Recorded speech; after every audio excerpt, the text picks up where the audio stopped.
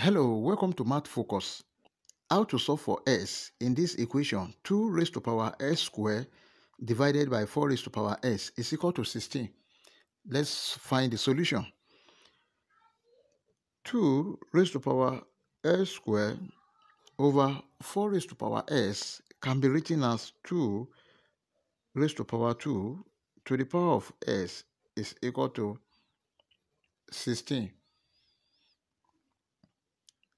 2 raised to power s square over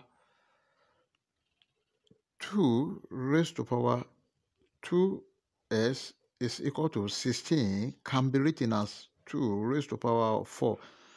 That is from this exponential rule, a raised to power n to the power of m is equal to a raised to power n m which is equal to a raised to the power m to the power of n. That is how we got this value. 2 raised to the power s square multiplied by 2 raised to the power minus 2s is equal to 2 raised to the power 4.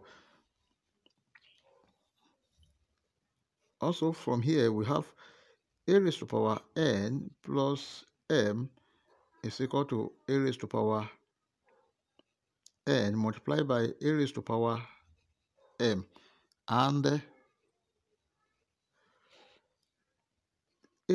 raised to power n over a raised to power m is equal to a raised to power n minus m.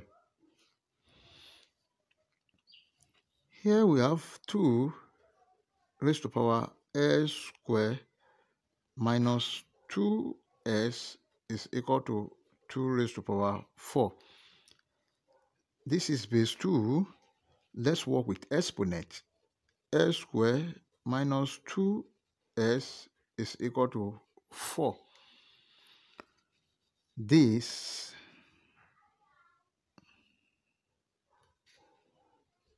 s square minus 2s minus 4 is equal to 0. This is a quadratic equation. Let's solve this quadratic equation using quadratic general formula. And the quadratic general formula, in this case, is giving us a s square plus bs plus c is equal to 0 s is equal to minus b plus or minus square root of discriminant over 2a. But d is equal to b square minus 4ac. From this quadratic equation, a is equal to 1, b is equal to minus 2, c is equal to minus 4. d is equal to b squared, that is 2 minus 2 square minus 4 multiplied by 1 multiplied by minus 4. This is equal to minus 2 square, 4, minus 4 times 1 times minus 4, that is plus 16. This is equal to 20. D is equal to 20. Then S is equal to minus bracket minus 2 plus or minus square root of 20 over 2 multiplied by 1.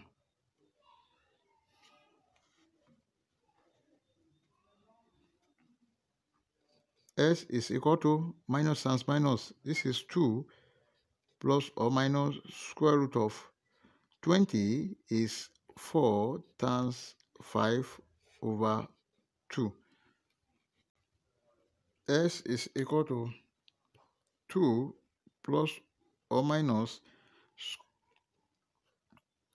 root of 4 multiplied by 5 over 2 s is equal to 2 plus or minus square root of 4 is 2 root 5 over 2. This one will cancel this 1 and 2 here 1. s is equal to 1 plus or minus root 5. Therefore, s is equal to 1 plus root 5 or s is equal to 1 minus root 5. And our final answer is s1 is equal to 1 minus root 5 or